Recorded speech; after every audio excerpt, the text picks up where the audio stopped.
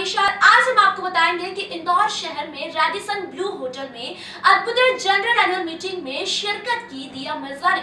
दिया मिर्ज़ा ने लोगों से बात करते हुए क्लीनेस्ट सिटी पेड़ पौधों और किस तरह से वेस्ट मटेरियल्स को लोग पॉलिथिन्स को यूज़ करते हैं बॉटल्स को यूज़ करते हैं, उन्होंने लोगों से बात की। देखिए वहाँ पे कुछ फुटेज कि किस तरह दिया मिर्ज़ा ने रेडिसन ब्लू होटल में शिरकत की। But at some point your shoulders would have started relaxing. The center of your back would have started relaxing. Now imagine if you did this every day for 20 minutes when you wake up in the morning. Subscribe our channel and press the bell icon for more updates.